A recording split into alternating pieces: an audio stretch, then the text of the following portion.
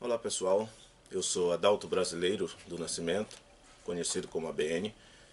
Quero trazer um estudo que certamente será de grande importância para você a respeito do dízimo. Esse estudo, depois de muito procurar, depois de alguns questionamentos, eu encontrei na internet e achei um dos mais completos sobre o assunto, porque trata de tudo que a Bíblia fala sobre dízimo e traz uma visão um pouco diferente do que as igrejas, na grande maioria, ensinam a respeito do dízimo. A gente sabe que o dízimo é a décima parte, foi ensinado na igreja e eu assim aprendi há 20 anos atrás, quando ingressei na Igreja Batista, da qual fiz parte por 20 anos, é, que o dízimo é do Senhor. E aquele que não dá o dízimo estaria roubando a Deus, usando assim o texto de Malaquias. Mas, como pregador do Evangelho, nesses últimos 20 anos, eu muitas vezes preguei isto. Preguei esta mensagem que hoje eu entendo que é errada, que é distorcida, porque a gente vai tentar mostrar nesse estudo. Então eu convido você a estar conosco nestes momentos que se seguem, a ver com pausa, com tranquilidade, anotando os textos bíblicos, relendo o texto e o contexto citado, porque certamente algo novo você pode tirar desse estudo. O título do estudo é um estudo bastante sugestivo, é? ele traz esse título que você pode ver aí, é? O dízimo do Velho Testamento versus o dadivar do Novo Testamento. A gente vai entrar aí numa seara um pouco complicada, até pela visão das denominações, é muito embate a respeito disso, o que é lei, o que não é lei, o que é do Velho Testamento, o que é do Novo Testamento, o que é para Israel, o que é para a igreja, nós cristãos.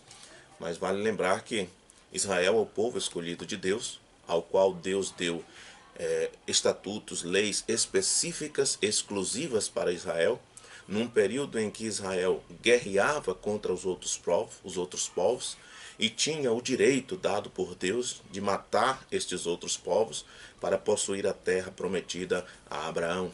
Mas nós vamos ver dentro do contexto do estudo que há uma ligação direta antes do surgimento do povo de Israel, desde os patriarcas, claro, a promessa feita a Abraão lá em Gênesis capítulo 12, de que da descendência dele abençoaria todas as famílias da terra, e isso se cumpre na pessoa de Cristo, e nós vamos ver também essa ligação. O estudo ele trata exclusivamente do dízimo. E eu não quero aqui condenar nem ofender ninguém, mas eu quero ajudar pessoas como eu fui ajudado através desse estudo a entender melhor esta questão e a ter a mente esclarecida. A Bíblia nos orienta que devemos examinar tudo e reter aquilo que é bom. Eu te convido a examinar esse estudo e a reter aquilo que você através da sua consciência, da orientação do Espírito Santo, entender que é bom para você. O dízimo do Velho Testamento versus o dadivar do Novo Testamento. A introdução do estudo diz assim: a ideia de que todo crente é obrigado a dizimar, ou seja, dar 10% da sua renda para a obra do Senhor, é largamente difundida nas igrejas evangélicas de hoje. Já bem cedo na vida espiritual, praticamente todo crente é ensinado que tem que dizimar. Algumas igrejas creem tão fortemente em dizimar que seus membros regularmente recitam o credo do dizimista. O dízimo é do Senhor, em uma verdade o aprendemos, em a fé o cremos, em a alegria o damos. O dízimo. Outros muitos pregadores têm clamado que quando qualquer crente que não dá o dízimo para o trabalho do Senhor está roubando a Deus e está sob maldição, de acordo com Malaquias 3, de 8 a 10. E eu quero aqui reconhecer que eu fui um desses pregadores durante 20 anos, porque assim o aprendi. Quando você se decide na igreja batista, na igreja adventista, na igreja assembleia, na igreja primitiva, na igreja quadrangular, seja qual for a denominação, o que você recebe nos primeiros dias, nos primeiros anos? A doutrina da igreja Você é chamado através do Evangelho, o convite é feito, e ao você responder positivamente aquele convite, você passa a ser ensinado, a ser doutrinado naquilo que a denominação na qual você se decidiu crê e ensina. Aí você para para pensar: por que existe tantas denominações? A Bíblia é uma só. Mas existe tantas denominações por quê? Porque cada uma crê de um jeito. Por mais que digam que são todos irmãos, cada uma crê de um jeito e afirma que a crença do outro ou da outra é errada nesse ou naquele ponto. Então precisamos ter cuidado. O evangelho de Cristo, ele não traz placa denominacional. Cristo nunca pretendeu criar denominações. O que nós temos visto aqui, principalmente no Brasil e também no mundo, é uma verdadeira Babel religiosa onde a cada dia novas denominações surgem e com novas doutrinas, com novas interpretações, com novos paradigmas, levando conjecturas de interpretações pessoais de grupos ou de pessoas para uma grande maioria, que na maioria das vezes não questiona. Ou seja, quando eu me decidi na Igreja Batista no dia 27 de novembro de 1994, para mim, eu estava abraçando a verdade absoluta. E os estudos, é, o discipulado, o diaconato, as coisas que ocorriam, era para me preparar para que eu pudesse seguir defendendo aquela doutrina que aquelas pessoas experientes também receberam e que outras e outras vinham passando de geração em geração. O que nós entendemos? Uma verdade pode ser perpetuada de geração em geração, mas também um erro, uma mentira, uma interpretação errada pode também ser perpetuada de geração em geração. Se não fosse assim, não existiria hoje as religiões que a gente sabe que não tem nada a ver aí com o Deus Criador. Então, religião, crença, elas são perpetuadas através de conceitos. E esses conceitos são ensinados aos novos adeptos dessas religiões, dessas seitas, ou dessas denominações, ou dessas igrejas, ou desses segmentos, ou desses grupos, ou desses ministérios, de acordo com a liderança daquele grupo. E eles ensinam sempre que a liderança, a visão que eles têm é a correta. E que as demais podem até ter alguma coisa de correta. Mas no fundo, no fundo, estão erradas nesse ou naquele ponto. Na grande maioria, as denominações, todas elas, ensinam que o dízimo é obrigatório. Hoje nós encontraríamos aí apenas a Congregação Cristã do Brasil, que é uma denominação também, tem alguns erros, como todas as demais têm, tem, porque são compostas de homens, partindo de interpretações de homens a respeito do que diz a palavra. Né? A Bíblia é uma só, mas as interpretações são diversas. E mais a congregação cristã no Brasil, ela não exige o dízimo. Mas há igrejas que exigem, a sua grande maioria, e até proíbem as pessoas de exercerem cargos na igreja se não forem dizimistas.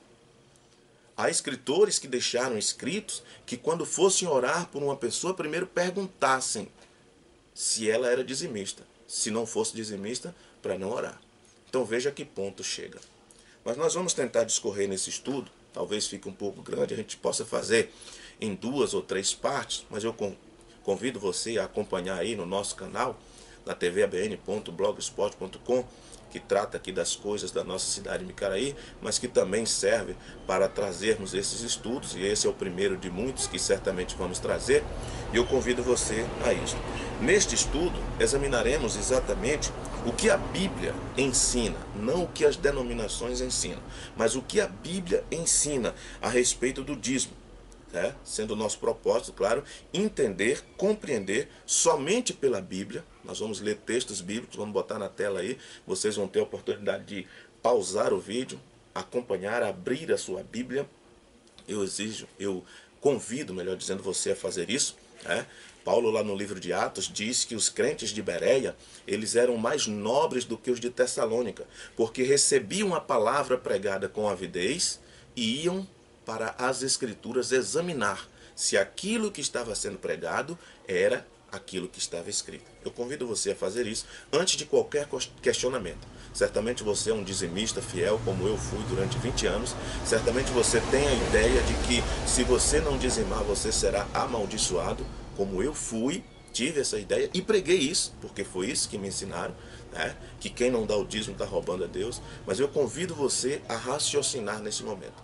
A Bíblia diz que nós devemos prestar um culto racional. Eu tenho que ter consciência do que eu estou fazendo, noção exata do que eu estou fazendo. E eu queria que você fizesse isso nesse momento. O primeiro ponto que nós vamos analisar na Bíblia é exatamente a questão do dízimo antes da lei. Como era a questão do dízimo antes da lei? Um dos pontos que as igrejas evangélicas usam hoje para defender que o dízimo ainda continua valendo para os cristãos que não são judeus é exatamente o fato da Bíblia citar o dízimo antes da lei. Mas vamos ver como a Bíblia cita o dízimo antes da lei e em que ponto essa citação implica nos dias de hoje. Vamos acompanhar há apenas duas passagens bíblicas que citam o dízimo antes da lei. Né? Foi instituída no Sinai. As passagens envolvem Abraão, um dos patriarcas, e Jacó, né, dois dos patriarcas de Israel. Essa passagem envolve esses dois e nós vamos analisar as duas.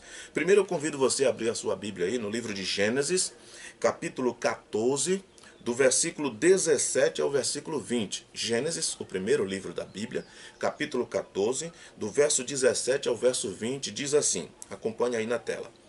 E o rei de Sodoma saiu-lhe ao encontro, depois que voltou de ferir a Kedorlaomé e aos reis que estavam com ele, até ao vale de Savé, que é o vale do rei. O verso 18 diz: E Melquisedeque, rei de Salém, trouxe pão e vinho, e era este sacerdote do Deus Altíssimo. Verso 19: E abençoou e disse: Bendito seja Abraão, pelo Deus Altíssimo, o possuidor dos céus e da terra. Verso 20. E bendito seja o Deus Altíssimo, que entregou os teus inimigos nas tuas mãos. E Abraão deu-lhe o dízimo de tudo. Todas as citações são da edição Almeida Corrigida e Fiel. O que estava acontecendo aqui? Você lembra da história de Abraão? Quando saiu de Ur dos Caldeus, convocado por Deus, e era para sair da sua terra, da sua parentela. Mas Abraão leva consigo o seu sobrinho Ló, e ambos eram ricos. E depois de conviverem um certo período juntos, começa a haver contendas entre os pastores de Ló, aqueles que cuidavam dos rebanhos de Ló, e os pastores de Abraão. Né?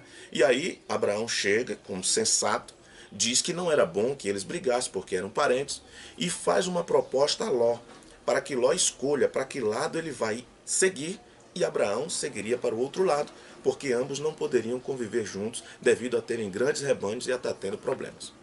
Ló olha as campinas de Sodoma e Gomorra, lindas, e escolhe aquele lado. E ali Ló escolheu uma coisa que aparentemente era boa, mas depois vai se tornar um laço para ele. Abraão segue para o outro lado. Ló passa a viver em Sodoma e Gomorra e a ver a prostituição, a ver as coisas que ocorriam em Sodoma e Gomorra e que eram prejudiciais à fé que ele tinha no Deus eterno. E depois há uma guerra de quatro reis contra cinco, você encontra isso lá em Gênesis capítulo 12, 13, né? 14, e você vai ver que os reis invadem Sodoma e Gomorra e levam os bens dos reis de Sodoma e Gomorra e também os bens de Ló. Aí Abraão entra na jogada e Abraão junta alguns dos seus homens né, e vai perseguir esses reis e toma os despojos, né, ou seja, uma guerra acontece. Abraão toma os despojos que foi tomado desses reis, inclusive os bens de Ló, e quando volta, aí há esse diálogo do rei de Sodoma, que saiu ao encontro de Abraão, descrito em Gênesis 14, 17 e 20, e há uma proposta para que Abraão fique com os despojos de guerra. Mas Abraão diz: não, de forma nenhuma, para que não digas que enriqueceu Abraão. Então Abraão diz, entrega os dízimos de tudo que foi despojado da guerra. Abraão não deu os dízimos dos seus bens, Abraão deu os dízimos dos despojos daquela guerra. Ele foi, guerreou e conquistou. E quem guerreava e ganhava tinha direito a ficar com as riquezas. Mas Abraão abriu mão disso, para que não dissesse que eles haviam enriquecido Abraão. Então Abraão entrega os dízimos de todos os despojos de guerra e o restante devolve para os reis de Sodoma e Gomorra e os seus donos. Então nós vemos aqui que o dízimo é citado até na pessoa de do sacerdote Melquisedeque, que aparece pela primeira vez aqui, né? E depois a gente vai ter uma noção exata do que significa esse Melquisedeque, que é a prefigura de Cristo, é o sacerdócio de Cristo é segundo a ordem de Melquisedeque, sacerdote eterno. Lá no livro de Hebreus nós vamos entender mais algumas coisas sobre isso, mas não vem o caso agora.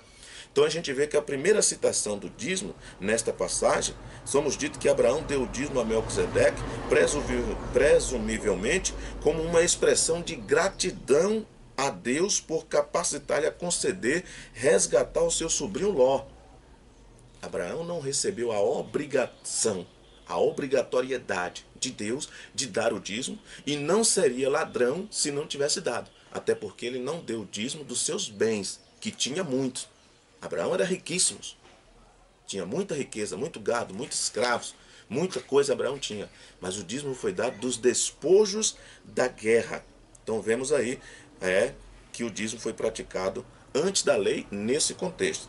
Aqueles que creem que o dízimo é mandatório para os crentes do Novo Testamento argumentam que, uma vez que o dízimo foi praticado antes da lei mosaica fosse dada, ele forçosamente também tem que ser praticado depois da lei mosaica, que tem sido feita obsoleta pelo estabelecimento do novo pacto, da nova aliança através do sacrifício de Cristo, conforme nos ensina Hebreus capítulo 8, versículo 13.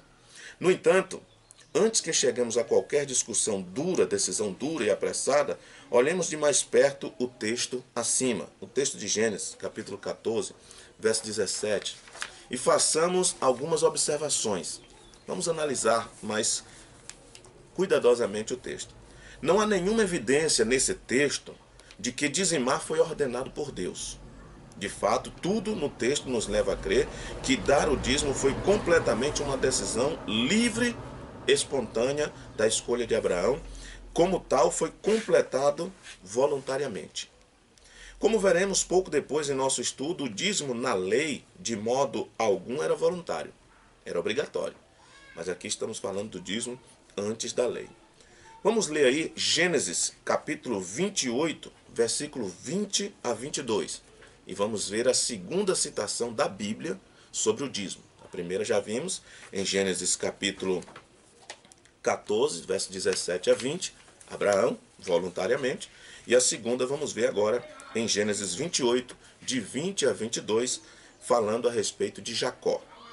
E Jacó fez um voto dizendo: Se Deus for comigo e me guardar nessa viagem que faço, e me der pão para comer e vestes para vestir, versículo 21, e eu em paz tornar a casa de meu pai, o Senhor me será por Deus. Verso 22. E esta pedra que tenho posto por coluna será casa de Deus, e de tudo quanto me deres, certamente te darei o dízimo.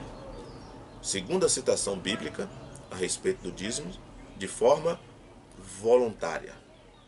Nada a ver de obrigatoriedade. Jacó, nesta passagem, está fazendo um voto, que era muito comum naqueles dias. Né? Um voto em resposta a uma visitação que recebeu de Deus em um sonho. Todos conhecem a história de Jacó. Jacó era, era é, conhecido como enganador. Enganou seu irmão Esaú, enganou seu pai para usufruir da bênção da primogenitura. E agora Jacó estava naquele caminho de fazer um voto a Deus a respeito da viagem que pretendia fazer que se Deus o abençoasse, se Deus fosse com ele, ele iria dar o dízimo dos seus bens. Veja que é uma promessa, é um voto. Não foi feito e cumprido diretamente. Esse voto só foi cumprido 20 anos depois. E não há relatos de que venha a ser outras vezes. Mas vamos em frente. O texto diz que eu sou o Senhor Deus de Abraão, teu pai. E o Deus de Isaac, esta terra em que estás deitado, darei a ti e à tua descendência. No verso 14: E a tua descendência será como o pó da terra, e estender-se-á o ocidente e ao oriente, e ao norte e ao sul, e em ti e na tua descendência serão benditas todas as famílias da terra. O verso 15 diz: E eis que estou contigo e te guardarei por onde quer que fores, e te farei tornar a esta terra porque não te deixarei até que haja cumprido o que tenho falado. Verso 13 e verso 15. Então encontramos aí Deus falando a Jacó no sonho, na visão, na revelação que teve, antes de Jacó expressar o que está em Gênesis capítulo 28, verso 20 a 22. Ou seja, o voto que Jacó fez de dizimar. Deus falou com Jacó, mas não requereu de Jacó o dízimo. Mas Jacó entendeu e dispôs no seu coração de que se Deus cumprisse aquilo que estava dizendo, ele iria dizimar, ofertar dos seus bens. É isso que acontece. Em resposta, Jacó fez o voto de que se Deus guardasse sua promessa, ele por sua vez daria o dízimo. Novamente, uma semelhança ao exemplo de Abraão, voluntariamente. A pessoa decidiu voluntariamente dar o dízimo. Esse é o texto que fala do dízimo antes da lei. Jacó ainda adiou essa promessa por 20 anos, até depois da volta a Canaã. Quem conhece a história bíblica sabe. Do tempo que Jacó fez ao tempo que ele foi cumprir. E esse período que ele não deu, estaria ele sobre maldição? Estes dois são os únicos relatos que a Bíblia cita no Velho Testamento antes da lei ser dada, a lei que foi dada exclusivamente à nação de Israel. Ambos são exemplos de algo voluntário, e nenhum desses dois dizimar foi pedido por Deus, em nenhum dos personagens, Abraão e nem Jacó. Segundo ponto que a gente precisa analisar: se nossa única evidência para obrigar crentes sobre o novo pacto, sobre o Novo Testamento, a dizimarem se apoia nestas duas passagens de Gênesis, parece que estamos nos apoiando num fundamento muito inseguro, porque hoje é ensinado a obrigatoriedade do dízimo nas igrejas evangélicas. E os textos citados antes da lei mostram a voluntariedade de Abraão e de Jacó.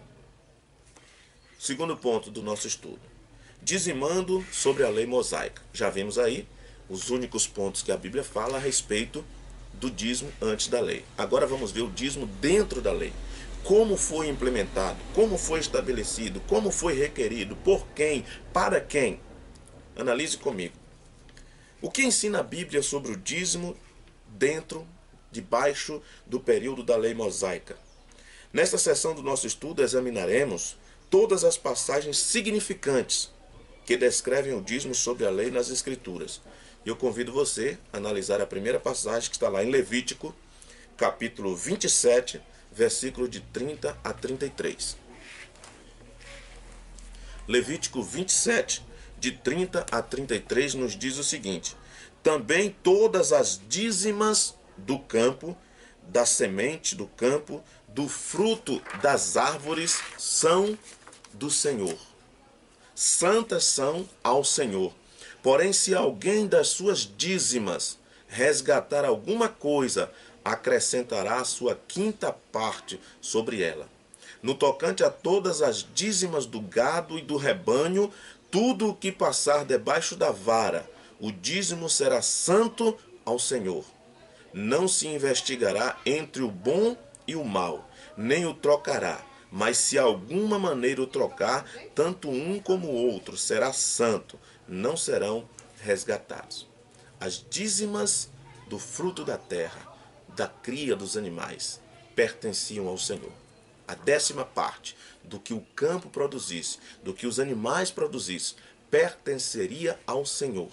Nós encontramos aí o dízimo sendo instituído dentro, debaixo, sob a lei mosaica. Quando na divisão das terras nós encontramos claramente uma das tribos. Então essa tribo recebe a responsabilidade de servir ao Senhor de cuidar das coisas sagradas. Elas não teriam, os moradores dessa tribo não teriam terras para plantar, logo não teriam que dizimar, porque o dízimo era exclusivamente produtos do campo, crias do gado, das ovelhas. Nada tinha a ver com dinheiro. E nós vamos ver isso mais à frente também. Note que nesta passagem o dízimo é descrito como sendo parte do produto da terra, da semente do campo, do fruto das árvores, do gado, do rebanho. O dízimo não era dar dinheiro, como as igrejas transformaram hoje. Em local algum das Escrituras você encontrará o dizimar em dinheiro, 10% do seu salário. Ademais, o dízimo era provavelmente dado em base anual. A colheita, ao ser concluída, tinha que ser retirada 10%. No final do ano, o rebanho era contado, passava por debaixo da vara e a décima parte era ofertada ao Senhor. Cada ano, depois que a terra tinha sido colhida, as pessoas traziam para os sacerdotes as décimas partes de suas colheitas e do aumento da manada e do rebanho.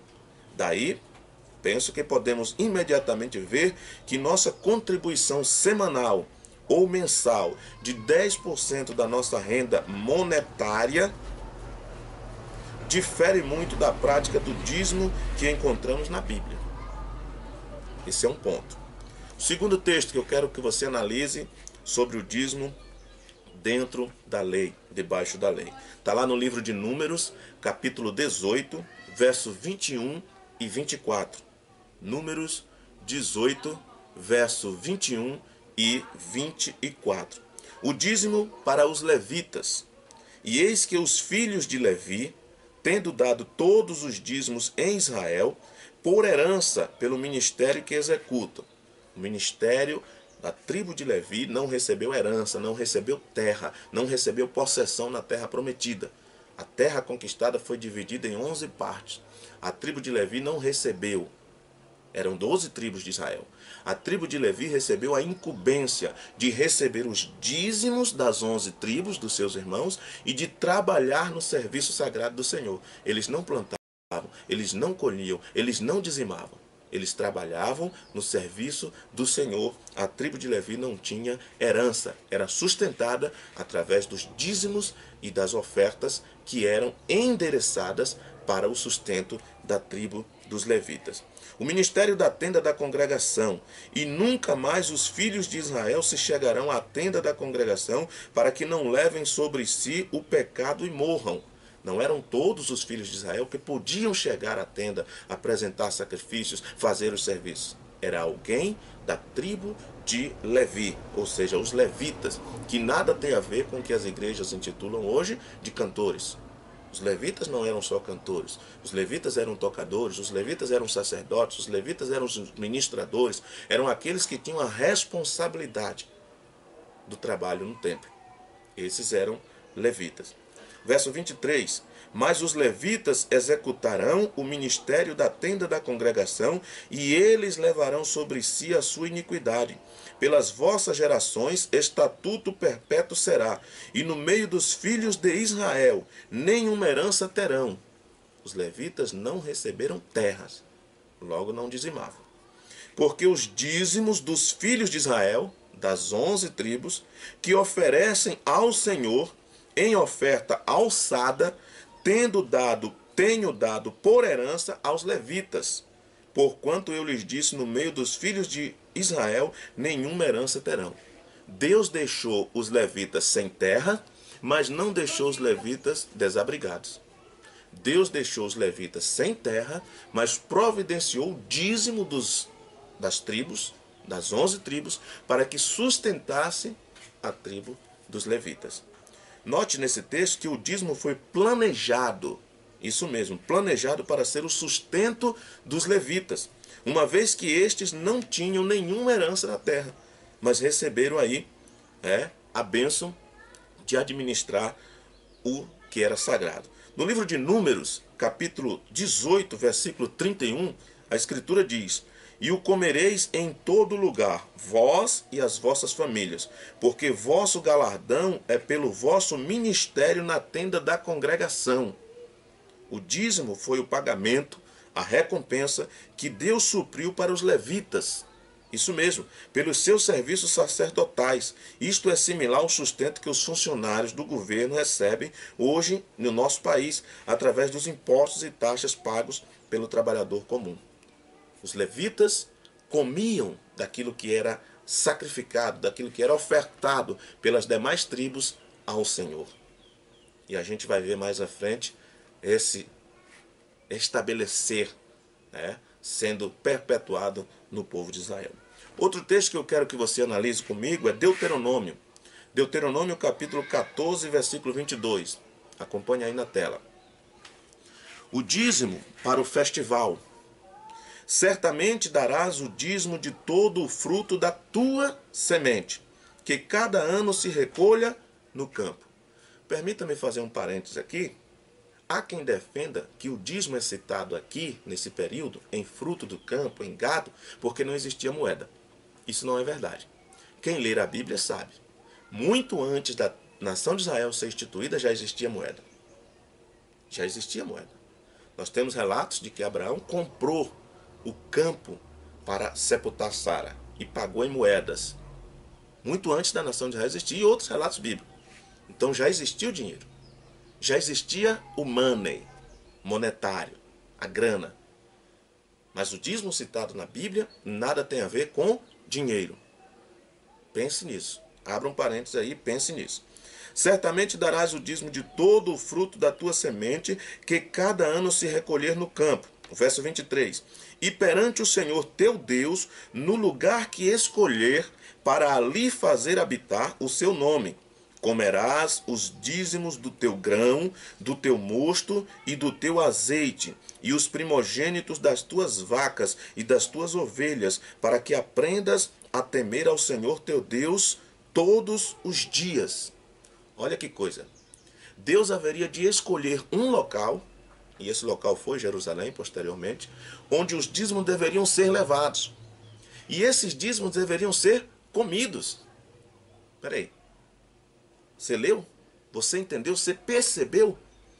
O verso 23 ele diz: E perante o Senhor teu Deus, no lugar que escolher para ali fazer habitar o seu nome, comerás os dízimos do teu grão do teu mosto e do teu azeite e os primogênitos das tuas vacas e das tuas ovelhas, para que aprendas a temer o Senhor, teu Deus, em todos os teus dias. Era para comer. Pense nisso. Verso 24. E quando o caminho te for cumprido, que os não possa levar, ou seja, a terra era imensa, a nação de Israel era grande. Jerusalém ficava num ponto. Quando alguém morasse distante demais de Jerusalém, que a quantidade de dízimo, ou seja, de cereais da colheita, de bois, de ovelhas, fosse grande e dificultosa de levar para Jerusalém para o festival, então eles deveriam fazer o quê? Olha o que a Bíblia diz.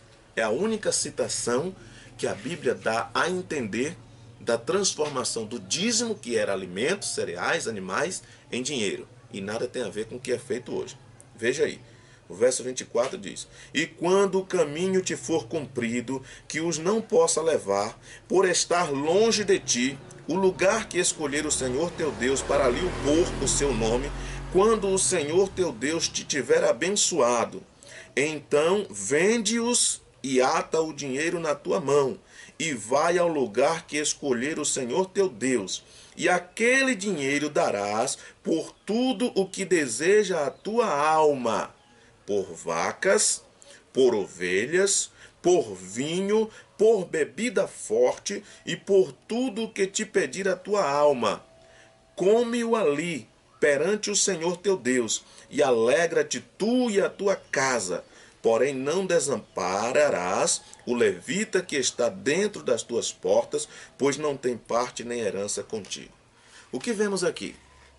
Vemos Deus determinando o local que ele iria receber os dízimos e exortando aos filhos de Israel a quando os dízimos fossem muitos, muito grão, muita colheita, muito gado, muita ovelha, eles poderiam vender aqueles bens que iam ser dizimados, apresentados ao Senhor, e ao chegar em Jerusalém, levando esse dinheiro, comprar tudo o que a sua alma quisesse, inclusive bebida forte bois, ovelhas, e se alegrarem, porque o dízimo dos festivais era para isso, era uma festa diante do Senhor, era se alegrar na presença do Senhor. Mas não deveriam esquecer dos levitas que habitavam dentro das suas portas, porque eles não tinham herança.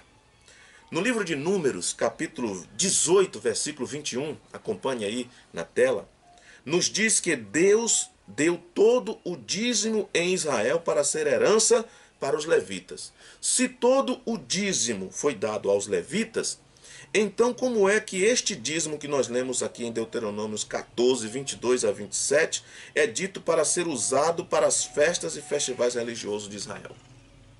Uma coisa que passa desapercebida aí, mas nós vamos tentar entender.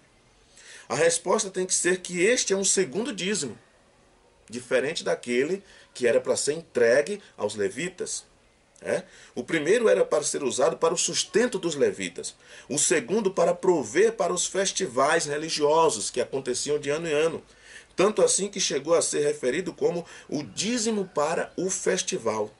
O povo de Israel devia usar este dízimo para comer e se alegrar na presença do Senhor em Jerusalém, o local que ele escolheu para estabelecer o seu nome.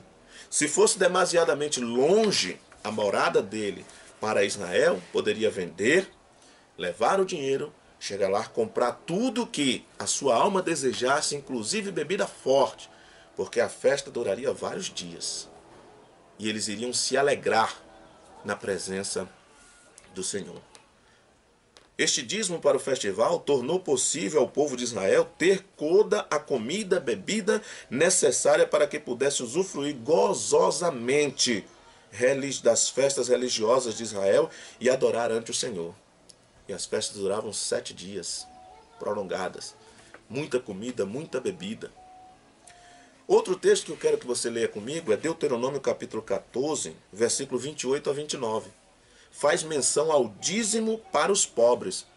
Veja que encontramos o dízimo para os levitas, o sustento da tribo que não recebeu terra, o dízimo para os festivais, que eram as festas realizadas de ano em ano, e agora um terceiro dízimo, o dízimo para os pobres. Veja aí, Deuteronômio capítulo 14, de 28 a 29. Ao fim de três anos, esse dízimo era tirado de três em três anos. Veja só. Ao fim de três anos, tirarás todos os dízimos da tua colheita no mesmo ano. No final do terceiro ano, tirará todos o dízimo naquele mesmo ano. E os recolherás dentro das tuas portas. O verso 29 diz: Então virá o levita, aquele que não tinha tribo, que não tinha terra, melhor dizendo, pois nem parte nem herança tem contigo ou seja, vocês, as onze tribos, receberam terra para plantar, para produzir, para criar. Os levitas não receberam. O estrangeiro, que eram aqueles que habitavam Israel, mas que não eram naturais da nação Israel. O órfão, que eram aqueles que não tinham pais, não tinham mãe. As viúvas, que eram aquelas que não tinham maridos, portanto não tinham a quem sustentar, quem ou as sustentar. Que estão dentro das suas portas e comerão comida, dízimo, comida comerão e fartar-se-ão, para que o Senhor Deus te abençoe em toda a obra que has de fazer as tuas mãos. Veja que há uma ligação direta do dízimos com comida, sustento, alimento. Nada a ver de dízimo, contribuição financeira. Entenda isso. Abra sua mente, entenda isso. Aqui somos ensinados a respeito de um terceiro dízimo o primeiro, o dízimo para o sustento dos levitas. O segundo, o dízimo dos festivais. E o terceiro, em Deuteronômio 14, 28 e 29, o dízimo para os pobres, que era tirado de três em três anos e era exclusivamente para o sustento dos pobres. Veja que coisa. Portanto, podemos ver aí uma conta simples. 10 mais 10 mais 10. Ou 10 mais 10 e mais 3 né, porque esse último dízimo era de três em três anos. Veja que o dízimo no Velho Testamento era diferente do dízimo que é cobrado hoje nas igrejas. Você percebeu alguma semelhança? Não há. O dízimo que é cobrado hoje nas igrejas, ele é entregue na tesouraria da igreja e ele é usado para muitos fins e uma mísera, uma pequena, uma insignificante parte é usado na alimentação dos pobres. Você já parou para pensar nisso? Medite comigo. Abra sua mente. Vamos continuar no nosso estudo.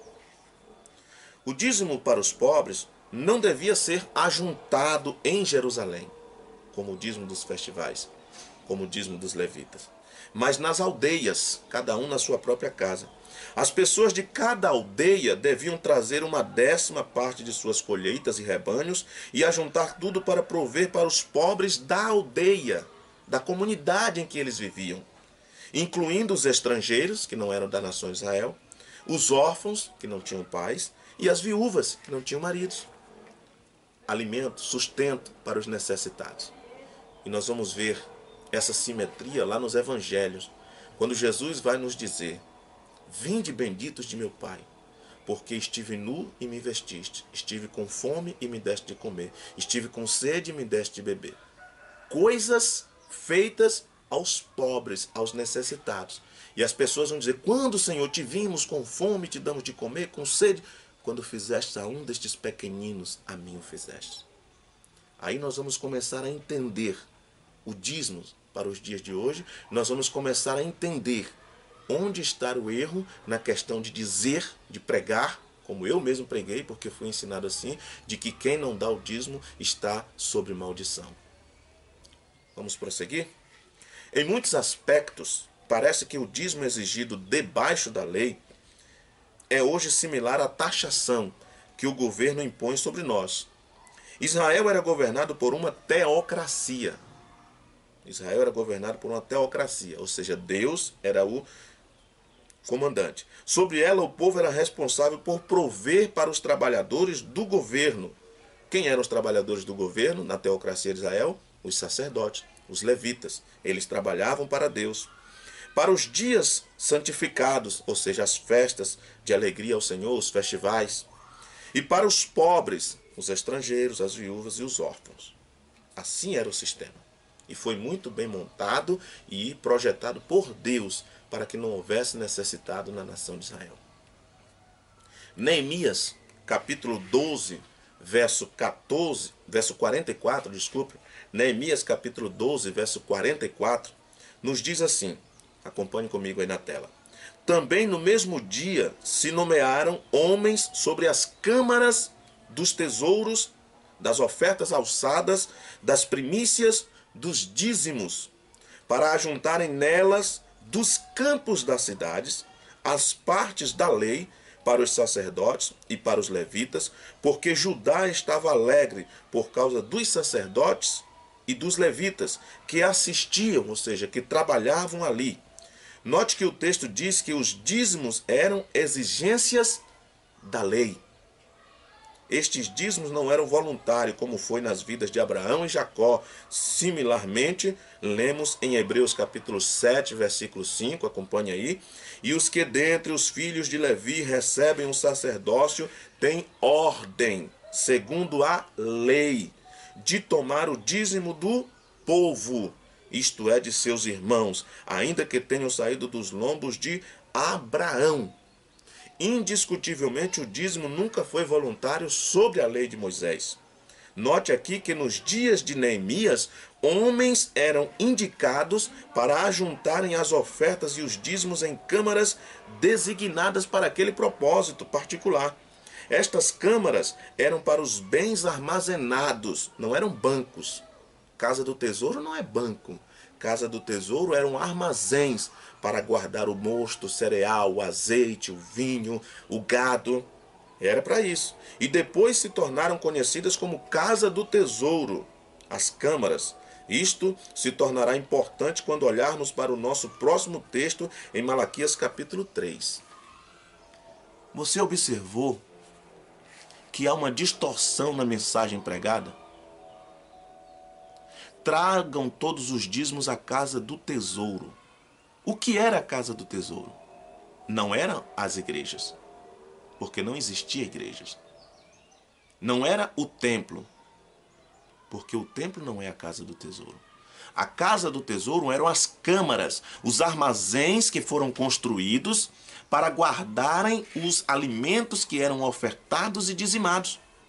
A casa do tesouro eram armazéns, galpões, onde se guardavam os alimentos que serviria de sustento para os levitas, que eram a tribo que não recebeu herança. Nada a ver com o que é ensinado hoje nas igrejas. Pense nisso. Vamos ver aí Malaquias capítulo 3, versículos de 8 a 12, um texto bastante usado e que eu também usei bastante, preguei bastante sobre isso, porque fui ensinado dessa forma, e aquela história que eu te falei no início. Você se decide numa igreja, você recebe a doutrina da igreja como verdade absoluta, e você, nesse pacote, recebe também que as outras ensinam errado, diferente, nesse ou naquele ponto, que a certa é que você está recebendo.